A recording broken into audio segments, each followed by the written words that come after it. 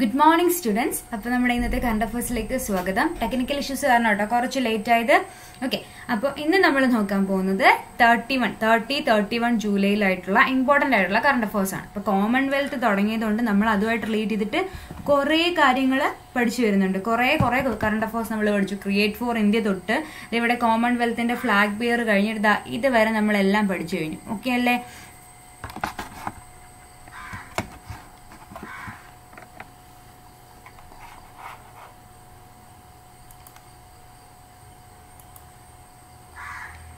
ഇതുവരെയുള്ള എല്ലാ കാര്യങ്ങളും നമ്മൾ നോക്കി. ഇപ്പം നമ്മളിന്ന് നോക്കാൻ പോകുന്ന കോമൺവെൽത്തിന്റെ വേറെ കുറച്ച് ആൾക്കാരെയാണ്.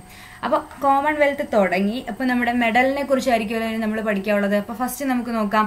ഓക്കെ ഫസ്റ്റ് ഇന്ത്യയുടെ ആദ്യത്തെ മെഡൽ ഇന്ത്യയ്ക്ക് കിട്ടിയേക്കുന്ന ആദ്യ മെഡൽ കോമൺവെൽത്ത് ഗെയിംസിൽ കിട്ടിയേക്കുന്ന ആദ്യത്തെ മെഡൽ എന്ന് പറയുന്നത് സംഗീത് സർഗറാണ്. സംഗീത് സർഗറാണ്. ഇന്ത്യയുടെ സംഗീത് സർഗറിനാണ് ആദ്യത്തെ ഫസ്റ്റ് മെഡൽ എന്ത് ചെയ്തിരിക്കുന്നത്? കിട്ടിയിരിക്കുന്നത്. കോമൺവെൽത്ത് ഗെയിംസിലെ ആദ്യത്തെ മെഡൽ ഏത് കാറ്റഗറിയിലാണെന്ന് ചോദിച്ചാൽ എവിടെയാണെന്നൊക്കെ സിൽവർ മെഡലാണ് കിട്ടിയിരിക്കുന്നത്. ഇൻ ഫിഫ്റ്റി ഫൈവ് കിലോഗ്രാം ഇവൻ കണ്ടോ? എന്തിനാ കിട്ടിയിരിക്കുന്നത്? ഫസ്റ്റ് പ്രൈസ് കിട്ടിയിരിക്കുന്നതെന്ന് പറയുന്നത് അനീഖ് മുഹമ്മദിനാണ്. ഓക്കെ അപ്പൊ നമ്മുടെ വെയിറ്റ് ലിഫ്റ്റിംഗിന്റെ കേസിൽ ആർക്ക് കിട്ടി? നമ്മുടെ സംഗീത് സാഗറിന് സിൽവർ മെഡൽ കിട്ടി. ഇന്ത്യയുടെ ആദ്യത്തെ മെഡലാണ് കിട്ടിയിരിക്കുന്നത്. ഇന്ത്യയുടെ ആദ്യത്തെ കോമൺവെൽത്ത് ഗെയിംസിലെ ആദ്യത്തെ മെഡലാണ് എന്തെന്ന് പറയുന്നത്? നമ്മുടെ സംഗീത് സർഗറിന് കിട്ടിയിരിക്കുന്നത്. ഗോൾഡ് മെഡൽ കിട്ടിയിരിക്കുന്നത് അനീഖ് മുഹമ്മദിനാണ്. മലേഷ്യയുടെ അനീഖ് മുഹമ്മദിനാണ് കിട്ടിയിരിക്കുന്നത്. ഓക്കെ ആണല്ലോ?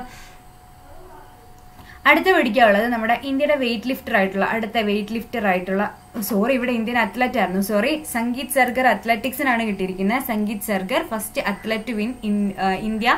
Silver medal കിട്ടിയിരിക്കുന്ന കോമൺവെൽത്തിൽ ആദ്യത്തെ ഗെയിംസ് സംഗീത് സർക്കിന് ഇട്ടിരിക്കുന്ന അത്ലറ്റിക്സിലാണ് ഇനി അടുത്ത് നോക്കിയേ വെയിറ്റ് ലിഫ്റ്റിംഗിന് കിട്ടിയിരിക്കുന്നത് ഗുരുരാജ പൂജാരി ബ്രോൺസ് മെഡലിലാണ് അറുപത്തി ഒന്ന് കിലോഗ്രാമുമായിട്ട് തൂക്കിക്കൊണ്ട് നമ്മുടെ അറുപത്തി ഒന്ന് കിലോഗ്രാം കാറ്റഗറിയിൽ ഗുരുരാജ പൂജാരിക്കാണ് എന്ത് കിട്ടിയിരിക്കുന്നത്?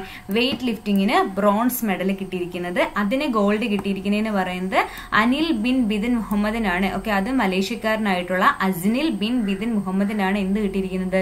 ഗോൾഡ് മെഡൽ ഫോർ വെയിറ്റ് ലിഫ്റ്റിംഗിന് കിട്ടിയേക്കുന്നത് സിൽവർ മെഡൽ കിട്ടിയിരിക്കണം ഇന്ത്യക്കാരനായിട്ടുള്ള ഗുരുരാജ പൂജാരിക്കാണ്. അപ്പൊ അത്ലറ്റിക്സിലും അതുപോലെ തന്നെ ഇന്ത്യയുടെ ഫസ്റ്റ് സിൽവർ മെഡൽ കിട്ടിയിരിക്കുന്നത് കോമൺവെൽത്ത് ഗെയിംസിലെ ആദ്യ മെഡൽ സംഗീത് സർഗർ ഓക്കെ അത് കഴിഞ്ഞിട്ട് വെയിറ്റ് ലിഫ്റ്റിങ്ങിന് ബ്രോൺസ് മെഡൽ കിട്ടിയിരിക്കുന്നത് ഗുരുരാജ പൂജാരി. നമുക്ക് അടുത്ത് നോക്കാം. അടുത്തെന്ന് പറയുന്നത് another weight lifter of India okay Bindya Rani Devi. അടുത്ത അടുത്ത വെയിറ്റ് ലിഫ്റ്റർ ആണ് ബിന്ദ്യ ദേവി റാണി. അൻപത്തി അഞ്ച് കിലോഗ്രാം കാറ്റഗറിയിൽ എന്ത് കിട്ടിയിട്ടുണ്ട്? സിൽവർ മെഡൽ കിട്ടിയിട്ടുണ്ട്. Silver medal okay Bindya Rani Devi clinch a silver medal in women's fifty five kilogram category വിമൻസിന്റെ fifty five kilogram കാറ്റഗറിയിലാണ് ബിന്ദ്യ ദേവി റാണിക്ക് എന്ത് കിട്ടിയിരിക്കുന്നത്? സിൽവർ കിട്ടിയിരിക്കുന്നത്. ഓക്കെ എല്ലാവരുടെയും ചിലപ്പോൾ ഗോൾഡ് പഠിക്കുമ്പോൾ നമുക്ക് പേര് നിന്ന് വരത്തില്ല. അതായത് ഇന്ത്യക്കാരായിട്ടുള്ള ആൾക്കാരുടെ പേര് എന്ത് ചെയ്യുക? കളയാണ്ടിരുന്ന് പഠിക്കുക. ഓക്കെ ആണല്ലോ? അപ്പൊ ബിന്ധ്യാദേവി ബിന്ധ്യ റാണി ദേവി. ബിന്ദ്യ റാണി ദേവിക്കാണ് എന്ത് കിട്ടിയിരിക്കുന്നത്? സിൽവർ മെഡൽ വിമൻസിന്റെ അൻപത്തി അഞ്ച് കിലോഗ്രാം കാറ്റഗറിയിൽ സിൽവർ മെഡൽ കിട്ടിയിരിക്കുന്നത്. അടുത്ത നമ്മുടെ നോക്കേ മീരാബായ് ചാനു. മീരാബായ് ചാനു എന്ത് ചെയ്തു? ഇന്ത്യയുടെ first gold medal okay first gold medal Commonwealth Games two thousand twenty ടൂവിൽ ഇന്ത്യക്കുള്ള ഫസ്റ്റ് ഗോൾഡ് മെഡൽ കിട്ടിയിരിക്കുന്ന ആർക്കാന്ന് ചോദിച്ചാൽ അത് മീരാബായ് ചാനുവിനാണ്. ആർക്കാ കിട്ടിയിരിക്കുന്നത്? മീരാബായ് ചാനുവിനാണ് കിട്ടിയിരിക്കുന്നത്. Okay first gold medal for Commonwealth Games two thousand twenty two നമ്മുടെ കിട്ടിയിരിക്കുന്നതെന്ന് പറയുന്നത് മീരാബായ് ചനുവിനാണ്. ഓക്കെ അത് ഏത് കാറ്റഗറിയിലാണ് നാൽപ്പത്തി ഒൻപത് കിലോഗ്രാം വെയിറ്റ് ലിഫ്റ്റിംഗ് കാറ്റഗറിയിലാണ്. അപ്പൊ നാല് മെഡൽ നമ്മൾ പഠിച്ചു. ഓക്കെ ഒന്നുകൂടെ ഞാൻ പറയാം. സംഗീത് സർഗർ അത്ലറ്റിക്സ് അതുപോലെ ഇന്ത്യയുടെ ഫസ്റ്റ് മെഡൽ സിൽവർ ആണ് കിട്ടിയിരിക്കുന്നത് വെയിറ്റ് ലിഫ്റ്റർ ആയിട്ടുള്ള ഗുരുരാജ പൂജാരി. ഓക്കെ അടുത്തത് വന്നിട്ടുണ്ട് ബ്രോൺസ് മെഡൽ നെക്സ്റ്റ് എന്ന് പറയുന്നത് ബിന്ധ്യ റാണി ദേവി. അതെന്ന് പറയുന്നത് എത്ര കിട്ടിയിട്ടുള്ളത് സിൽവറിൽ വിമൻസിന് അമ്പത്തി അഞ്ച് കിലോഗ്രാമിൽ സിൽവർ മെഡൽ കിട്ടി. മീരാബായ് ഷാനുവിന് നാൽപ്പത്തി ഒൻപത് കിലോഗ്രാം കാറ്റഗറിയിൽ ഗോൾഡ് ആണ് കിട്ടിയിരിക്കുന്നത് ഓക്കെ അടുത്ത നോക്കി കോമൺവെൽത്തുമായിട്ട് ബന്ധപ്പെട്ടിട്ട് വന്ന മറ്റൊരു ന്യൂസ് ആണ് അനഹത് സിംഗ് ആണ് Commonwealth Games two thousand twenty ടൂലെ ഏറ്റവും യങ്ങസ്റ്റ് പ്ലെയർ ആയിട്ടുള്ള ഇന്ത്യൻ ഏറ്റവും യങ്ങസ്റ്റ് ഇന്ത്യൻ പ്ലെയർ ആണ് എന്ന് പറയുന്നത് Anahat Singh. Anahat Singh youngest player of Commonwealth Games എന്ന് പറയുന്നത് അനഹത് സിംഗ് ആണ് അനഹത് സിംഗ്. ഓക്കെ പതിമൂന്ന് വയസ്സിലാണ് അതായത് ആറ് ഏഴ് വയസ്സുള്ളപ്പോഴാണ് തനഹത് സിംഗ് തന്റെ കാറ്റഗറി എന്ത് ചെയ്യുക സോറി തന്റെ ഈ ഗെയിംസിലും അത്ലറ്റിക്സിലൊക്കെ ഉള്ള തന്റെ കടന്നുവര കടന്നവരുണ്ടാവുന്നത്. അപ്പൊ അതിനുശേഷം ഇപ്പോൾ ഈ ഒരു പതിമൂന്ന് വയസ്സാകുമ്പോഴത്തേക്കും ഏകദേശം നാൽപ്പത്തിയാറോളം ഗെയിംസും കാര്യങ്ങളുമാണ് നമ്മുടെ അനഹത് സിംഗ് ജയിച്ചിരിക്കുന്നത്. അപ്പോൾ അണ്ടർ നയന്റീൻ ഏഷ്യൻ ജൂനിയർ ചാമ്പ്യൻഷിപ്പിൽ രണ്ടായിരത്തി ഇരുപത്തിരണ്ടിലെ പട്ടായയിൽ നടന്ന under nineteen little Asian junior ചാമ്പ്യൻഷിപ്പും അതേ ആര് നേടി നമ്മുടെ അനഹത് സിംഗ് ആണ് നേടിയത്. ഓക്കെ ആണല്ലോ? അടുത്ത് നോക്കിയാൽ അതുപോലെ ഇപ്പൊ നോക്കുവാണെങ്കിൽ ഏഷ്യ ആൻഡ് യൂറോപ്പിൽ അണ്ടർ തേർട്ടീൻ കാറ്റഗറിയിൽ നമ്പർ വൺ പ്ലെയറും സോറി ഏഷ്യയിലെ നമ്പർ വൺ പ്ലെയറും യൂറോപ്പിന്റെ നമ്പർ ഫോർ പ്ലെയറുമാണ് ആരെന്ന് പറയുന്നത് നമ്മുടെ അനഹത് സിംഗ് എന്ന് പറയുന്നത്. Okay German and Dutch open ടൈറ്റിലൊക്കെ നോക്കുവാണെങ്കിൽ ഏഷ്യയുടെ അണ്ടർ തേർട്ടീൻ കാറ്റഗറിയിലെ നമ്പർ വൺ പ്ലെയർ ആണ് നമ്മുടെ അനഹത് സിംഗ്. യൂറോപ്പിലെ അണ്ടർ ഫിഫ്റ്റീൻ കാറ്റഗറിയിലെന്ന് പറയുന്നത് അണ്ടർ ഫിഫ്റ്റീൻ കാറ്റഗറി ക്ഷമിക്കണം. Number one player in Asia and European under thirteen കാറ്റഗറിയിൽ നമ്പർ വൺ പ്ലെയർ ആരാണ്? അനഹത് സിംഗ് ആണ്. അപ്പോൾ ഒന്ന് ആലോചിച്ച് വെച്ചേക്കുക പ്ലെയർ ആരാണ് ചോദിച്ചാൽ അനഹത് സിംഗ്. അതുമായിട്ട് റിലേറ്റ് ചെയ്തിട്ടുള്ളതാണ് ഈ വർഷം രണ്ടായിരത്തി ഇരുപത്തിരണ്ടിൽ പട്ടായയിൽ നടന്നിട്ടുള്ള എന്ത് കിട്ടി? നമ്മുടെ under nineteen title at the junior championship നമ്മുടെ ആർക്കാ കിട്ടിയേക്കുന്നത്? അനഹത് സിംഗിനാണ് കിട്ടിയേക്കുന്നത്. അപ്പം ഈ രണ്ട് മൂന്ന് ദിവസമായിട്ട് കോമൺവെൽത്ത് ഗെയിംസുമായിട്ട് റിലേറ്റ് ചെയ്തിട്ടുള്ള ക്വസ്റ്റ്യൻസ് ആണ് ഞാൻ ഈ പറഞ്ഞത്. അപ്പൊ നമുക്ക് അടുത്ത ന്യൂസിലോട്ട് പോകാം. ഓക്കെ മുഖ്യമന്ത്രി മഹത്വാരി ന്യായി രഥ് യാത്ര അതായത് നോക്കി ഛത്തീസ്ഗഡ് ആണ് ഇത് ലോഞ്ച് ചെയ്തിരിക്കുന്നത് ഛത്തീസ്ഗഡിലെ വിമൻസിന്റെ എന്ത് ചെയ്യുക കോൺസ്റ്റിറ്റ്യൂഷൻ അല്ലെങ്കിൽ മറ്റ് ലോസുമായിട്ട് റിലേറ്റ് ചെയ്തിട്ടുള്ള എഡ്യൂക്കേഷൻ അല്ലെങ്കിൽ അവയർനെസ് കൂട്ടാൻ വേണ്ടിയിട്ടാണ് മുഖ്യമന്ത്രി മഹത്യാരി ന്യായി രഥയാത്ര എന്ന് പറഞ്ഞിട്ട് എന്ത് ചെയ്യുന്നത് സംഘടിപ്പിക്കുന്നത് അപ്പൊ നമുക്കറിയാം നമ്മുടെ ഹരേലി തീഹാർ ഫെസ്റ്റിവൽ ഹരേലി തീഹാർ ഫെസ്റ്റിവൽ എവിടെ നടക്കുവാണ്? ഛത്തീസ്ഗഡിൽ നടക്കുവാണ്. അപ്പോൾ ഭൂപേഷ് ബോഗൽ ആ ടൈമിലാണ് ഭൂപേഷ് ബോഗൽ എന്ത് ചെയ്യുന്നത്? ഈ യാത്ര ഉദ്ഘാടനം ചെയ്തത്. ഇവർ ഉദ്ദേശിക്കുന്ന എന്താന്ന് വെച്ചാൽ ബുക്ക്ലെറ്റുകൾ ഷോർട്ട് ഫിലിംസ് മെസ്സേജസ് ഒക്കെ കൊണ്ടുവരിക. അതുപോലെ ഓരോ ആൾക്കാരെ ചെന്ന് കാണുക എഡ്യൂക്കേറ്റഡ് ആയിട്ടുള്ള ആൾക്കാരെ കൊണ്ട് എല്ലാ വീതികളും തെരുവോരങ്ങളിലും മൊത്തം എന്ത് ചെയ്യുക? കുഞ്ഞു കുഞ്ഞു മെസ്സേജസ് ആയിട്ടും ബുക്ക്ലെറ്റുകളായിട്ടും അതുപോലെ ഓരോരോ സ്ഥലങ്ങളിലായിട്ട് ഷോർട്ട് ഫിലിംസ് പ്രക- എന്താ പ്രദർശിപ്പിക്കുക എന്നത് വഴിയാണ് ഇവർ ഈ റൈറ്റ്സ് ഒക്കെ വിമൻസിലേക്ക് കൂടുതലും എത്തിക്കാന്ന് ഉദ്ദേശിക്കുന്നത്. അപ്പൊ മുഖ- മുഖ്യമന്ത്രി മഹത്താരി ന്യായി രഥയാത്ര എന്തെവിടെയാണ്? ഛത്തീസ്ഗഡിലാണ്. ഓക്കെ ഉദ്ഘാടനം ചെയ്താര ഭൂപേഷ് പോകൽ ഓക്കെ ആണല്ലോ. ഇനി അടുത്ത് നോക്കിയാലോ. അടുത്ത Gujarat semiconductor policy two thousand twenty two twenty seven ഇന്ത്യയിൽ ആദ്യമായിട്ടാണ് ഒരു സ്റ്റേറ്റ് ഒരു സ്റ്റേറ്റ് ഇന്ത്യയിൽ ആദ്യമായിട്ടാണ് ഒരു സ്റ്റേറ്റ് എന്ത് ചെയ്യുന്നത്? ഗുജറാത്ത് സെമി അല്ലെങ്കിൽ സ്വന്തമായിട്ട് ഒരു സെമി കണ്ടക്ടർ പോളിസി കൊണ്ടുവരുന്നത്. ഏതാണ്?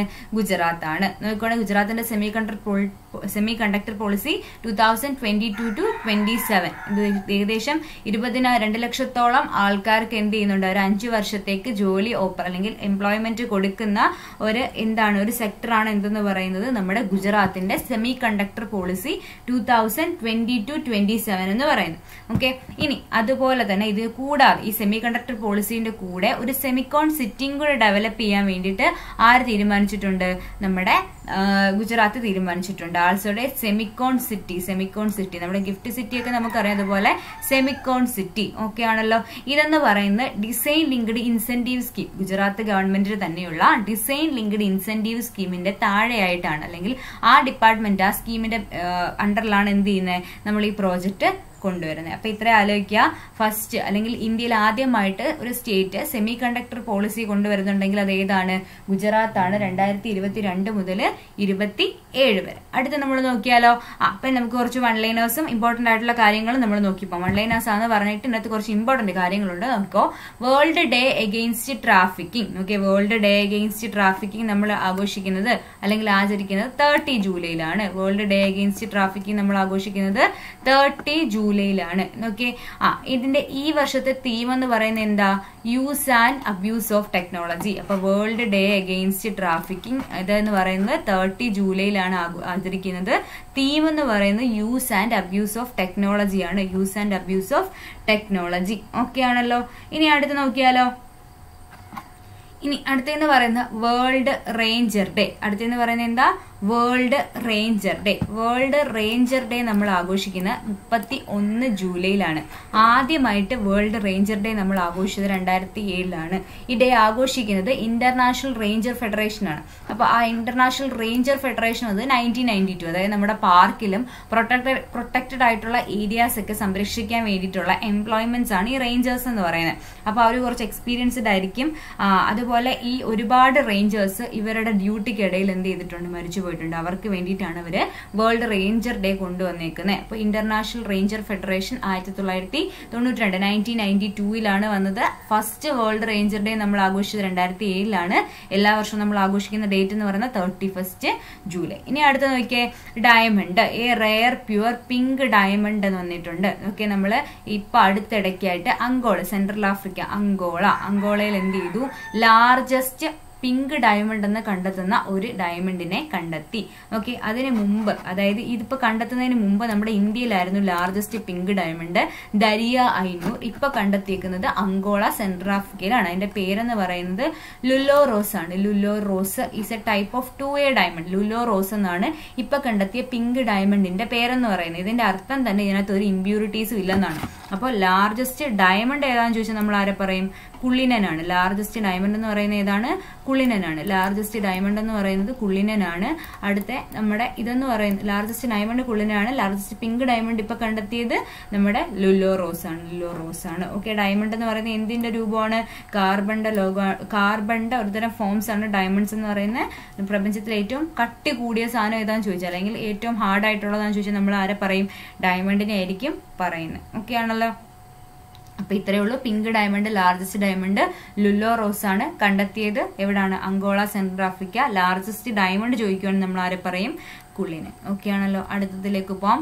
As a part of collaborative as a part of collaborative learning strategy at the school Indus international school എന്ത് ചെയ്യുന്നറിയാമോ ആദ്യത്തെ ടീച്ചിങ് റോബോട്ട് ഇന്ത്യയിലെ ആദ്യത്തെ ടീച്ചിങ് റോബോട്ടായിട്ടുള്ള ഈഗിൾ റോബോട്ടിനെ നമ്മുടെ ഇവിടെ തെലങ്കാനയിലാണ് ഇത് വന്നേക്കുന്നത്. തെലങ്കാനയിൽ Indus school Indus international school ആദ്യത്തെ ഫസ്റ്റ് ടീച്ചിങ് റോബോട്ടിനെ കൊണ്ടുവന്നു. അതിന്റെ പേരെന്ന് പറയുന്നത് ഈഗിൾ റോബോട്ട് എന്നാണ്. റോബോട്ടിന്റെ പേരെന്താ? Eagle robot Eagle robot first teaching robot അല്ലെങ്കിൽ ഈഗിൾ റോബോട്ട് ഓക്കെ അപ്പൊ നമുക്ക് നോക്കാം. ഹൈദരാബാദ് ബാംഗ്ലൂർ പൂനെ. ഈ മൂന്ന് സ്ഥലത്തായിട്ടാണ് ഇരുപത്തിയൊന്ന് ഈഗിൾ റോബോട്ട്സിന് ഏഴെണ്ണം ഏഴെണ്ണം വെച്ചിട്ട് കൊണ്ടുവന്നിരിക്കുന്നത് അപ്പൊ നമ്മൾക്കിപ്പോൾ അറിയാം ബാങ്കിൽ റോബോട്ട് വന്നു ഹോസ്പിറ്റലിൽ നമ്മുടെ കൊറോണ ടൈമിലൊക്കെ അവരെ രോഗികളെ നോക്കാൻ വേണ്ടിയിട്ട് ആരുണ്ടായിരുന്നു? റോബോട്ട്സ് ഉണ്ടായിരുന്നു. ഇപ്പൊ അതാ നോക്കിക്കോ നമ്മുടെ സ്കൂളിൽ ടീച്ചിങ്ങിനും ആരാണ് വരുന്നത്? റോബോട്ടാണ് വരുന്നത്. ഓക്കെ കണ്ടോ? ഇപ്പൊ തെലങ്കാനയിലാണ് ഫസ്റ്റ് ടീച്ചിങ് റോബോട്ട് പേര് ആലോചിക്കുക ഈഗിൾ റോബോട്ട് ഇനി അടുത്ത നമുക്ക് നോക്കിയേ പ്രണയ് കുമാർ വർമ്മ. നമ്മുടെ നെക്സ്റ്റ് ഇന്ത്യയുടെ next high commissioner to Bangladesh ആരാന്ന് ചോദിച്ചാൽ ആരാണ്? പ്രണയ് കുമാർ വർമ്മ. ഓക്കെ ആണല്ലോ ഇപ്പൊ അദ്ദേഹം കറണ്ടിലി വിയറ്റ്നാമിന്റെ അംബാസിഡർ ആണ്. ഇനി അടുത്ത ഇന്ത്യയുടെ ബംഗ്ലാദേശിലേക്കുള്ള ഹൈ കമ്മീഷണർ ആരാണെന്ന് പറയുന്നത്? പ്രണയ് കുമാർ വർമ്മ. പ്രണയ് കുമാർ വർമ്മ. അത് ആലോചിച്ച് വെച്ചിരുന്നാൽ മതി. വേറെ ഒന്നും അതിൽ പഠിക്കാൻ നിൽക്കണ്ട കേട്ടോ. ഇന്ത്യയുടെ next high commissioner to Bangladesh Pranay Kumar Verma. Okay ഇന്ത്യയുടെ ഫസ്റ്റ് ടീച്ചിങ് റോബോട്ട് വന്നത് തെലങ്കാനയിലാണ്. പേര് Eagle robot. Next Savitri Jindal with a net worth of eighteen billion has emerged as Asia's wealthiest woman okay. ചൈനയുടെ Yang ഹൈനായിരുന്നു കഴിഞ്ഞ പ്രാവശ്യം വരെ ഏഷ്യയുടെ wealthiest person ആയിട്ടുള്ളത്. അവരെ തോൽപ്പിച്ചുകൊണ്ട് നമ്മുടെ ഇന്ത്യയുടെ ആര്? സാവിത്രി ജിന്തൽ എന്ത് ചെയ്തു? ടോപ്പ് പൊസിഷനിൽ ഇന്ത്യയുടെ ഏറ്റവും വെൽത്തിയസ്റ്റ് വിമൺ പൊസിഷനിലായിട്ട് ആരാണ് വന്നത്? സാവിത്രി ജിന്തൽ സാവിത്രി ജിന്തൽ ആണ് എന്തെന്ന് പറയുന്നത്? ഏഷ്യാസ് വെൽത്തിയസ്റ്റ് വുമൺ ഓക്കെ ആരെയാണ് സർപ്പാസ് ചെയ്തത് ചൈനയുടെ യാങ് ഹൈനെ. അടുത്ത് നോക്കിയാൽ നമ്മുടെ ലാസ്റ്റ് രണ്ട് കറണ്ട് അഫേഴ്സിലോട്ട് പോവാണ് നമ്മൾ prime minister Narendra Modi has launched India's international bullion bullion exchange നോക്കിയ കണ്ടോ? I B B X I I B X sorry Narendra Modi launch ചെയ്തു. ഐ ഐ ബി എക്സ് എന്താ? Full form India sorry India international bullion exchange എവിടാന്ന് ചോദിച്ചാൽ നമ്മുടെ ഗുജറാത്തിന്റെ gift city. ഇപ്പൊ നേരത്തെ നമ്മൾ Semicon city പറഞ്ഞു ഇനി അടുത്തത് ഗിഫ്റ്റ് സിറ്റി ഗുജറാത്തിന്റെ ഇന്റർനാഷണൽ ഫിനാൻസ് ടെക് സിറ്റി ആയിട്ടുള്ള ഗിഫ്റ്റ് സിറ്റി. ഗാന്ധിനഗർ ഗുജറാത്തിലാണ് എന്ത് ചെയ്യുന്നത്? നരേന്ദ്രമോദി എന്ത് ഉദ്ഘാടനം ചെയ്തത്? I I B X India international bullion exchange launch ചെയ്തേക്കുന്നത്. ഓക്കെ ഇന്ത്യയുടെ first I B B S എന്ന് പറയുന്നത് ഇന്ത്യയുടെ ഫസ്റ്റ് ഇന്റർനാഷണൽ ബുള്ളിയോൺ എക്സ്ചേഞ്ച് ആണ്. ഇത് ഉദ്ദേശിക്കുന്നത് എന്തോന്ന് വെച്ചാൽ നമ്മുടെ ജുവലറീസിലും മറ്റും യൂസ് ചെയ്യുന്ന ആൾക്കാർക്ക് ജുവലറീസ് ജുവൽ ആൾക്കാരുടെ ബിസിനസ് ചെയ്യുന്ന ആൾക്കാർക്ക് ക്വാളിഫൈഡ് ജുവലേഴ്സിന് എന്ത് ചെയ്യാം? ഗോൾഡ് ഡയറക്റ്റ്ലി ഇതിലേക്ക് ഇന്റർനാഷണൽ ബുള്ളിയൻ എക്സ്ചേഞ്ചിലേക്ക് ഡയറക്റ്റ് ആയിട്ട് ഇമ്പോർട്ട് ചെയ്യാൻ പറ്റും. ഈ ഐ ഐ ബി എക്സ് നമ്മൾ റെഗുലേറ്റ് ചെയ്യുന്നതെന്ന് പറയുന്നത് international financial service centre അതോറിറ്റിയാണ് I F S C A അതാണ് എന്ത് ചെയ്യുന്നത്? ഈ നമ്മുടെ ഐ ഐ ബി എക്സിനെ എന്ത് ചെയ്യുന്നത്? റെഗുലേറ്റ് ചെയ്യുന്നത്. ഈ ഐ ഐ ബി എക്സിന്റെ ഇപ്പോഴത്തെ എം ഡി ആൻഡ് സിഇഒ എന്ന് പറയുന്നത് അശോക് ഗൗതമാണ്. അശോക് ഗൗതം. അപ്പൊ ഞാൻ ഒന്നുകൂടെ പറയാം. പ്രൈം മിനിസ്റ്റർ നരേന്ദ്രമോദി എന്ത് ചെയ്തു? നമ്മുടെ I I B X India international bullion exchange ഗുജറാത്തിലെ ഗിഫ്റ്റ് സിറ്റിയിൽ ലോഞ്ച് ചെയ്തു. ഈ ഐ ഐ ബി എക്സ് എന്ന് പറയുന്നത് ഇപ്പോഴത്തെ ഇന്ത്യയിലെ ഫസ്റ്റ് ഇന്റർനാഷണൽ ബുള്ളിയോൺ എക്സ്ചേഞ്ച് ആണ്.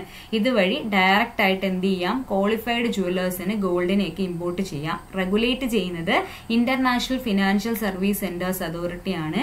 ഇപ്പം ഐ ഐ ബി എക്സിന്റെ എം ഡി ആൻഡ് സിഒ ആയിട്ടിരിക്കുന്നത് അശോക് ഗവത് അപ്പൊ അതിനെക്കുറിച്ച് പഠിക്കാനുള്ള കാര്യങ്ങളെല്ലാം ഞാൻ പറഞ്ഞിട്ടുണ്ട്. ഓക്കെ? ഓക്കെ അല്ലേ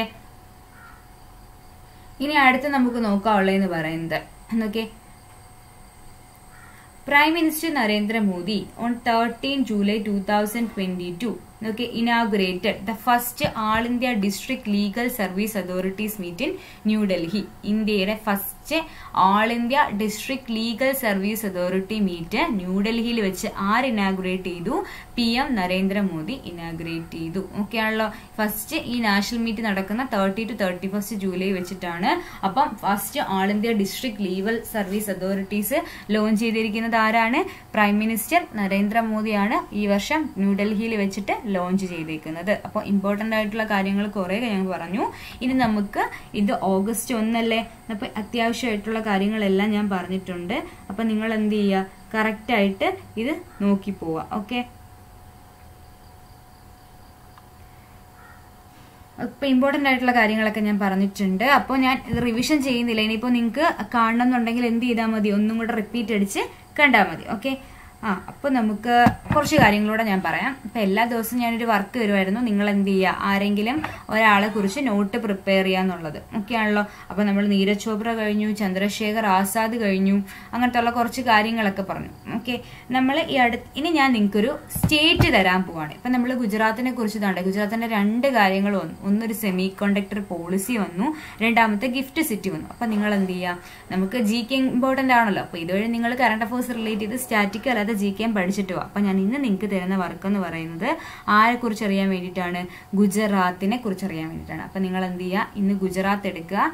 ഗുജറാത്തിന്റെ കുറച്ച് കാര്യങ്ങൾ എഴുതി വെക്കുക. വേറെ ഒന്നുമില്ല ഇന്നത്തെ വർക്ക് എന്ന് പറയുന്നത് ഗുജറാത്ത് മാത്രമേ ഉള്ളൂ. അപ്പോൾ ഗുജറാത്ത് സ്റ്റേറ്റ് എടുക്കുക. അവിടുത്തെ ഇമ്പോർട്ടന്റ് ആയിട്ടുള്ള പ്ലേസസ് ആരാധനാലയങ്ങൾ ടെമ്പിൾസ് ചെറിയ ടെമ്പിൾസ് നോക്കുക.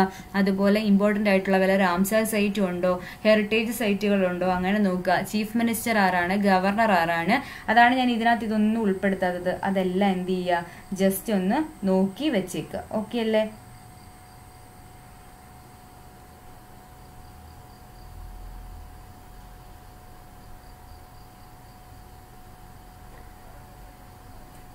ഓക്കെ അപ്പൊ എല്ലാവരും ഇന്നത്തെ ദിവസം കറക്റ്റായിട്ട് പഠിക്കുക. Okay all the best